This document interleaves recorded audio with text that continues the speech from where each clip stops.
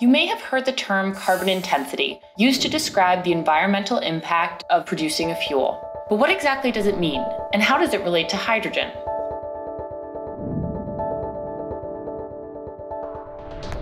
Pure hydrogen fuel is key to a zero emissions world. It does, however, need to be extracted from other elements, such as oxygen or carbon, as it doesn't exist naturally on its own.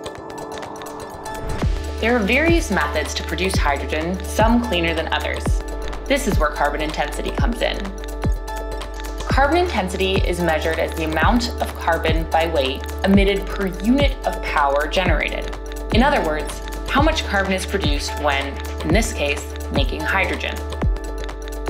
Some methods of hydrogen production contribute to carbon emissions, but there are others that incorporate carbon capture and even remove extra carbon from the environment, making them carbon negative. Raven SR, a leader in this space, can produce 1,600 metric tons of hydrogen per year by converting just five garbage trucks of organic waste per day.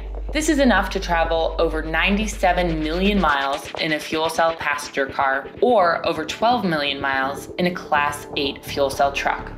This avoids almost 5 metric tons of CO2 emissions that would otherwise be emitted from landfills. Plus, it prevents 23,000 metric tons of organic waste from reaching the landfills at all.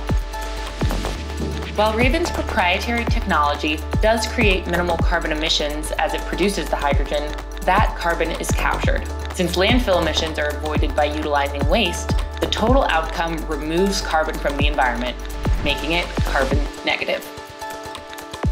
Carbon intensity most accurately measures the carbon footprint of a production technology, and leaders globally are starting to embrace it. Ultimately, the use of carbon intensity to measure the real emissions impact is data driven. The data points are clearly defined, can be measured with certainty, and allow for responsible prioritization of hydrogen production technologies.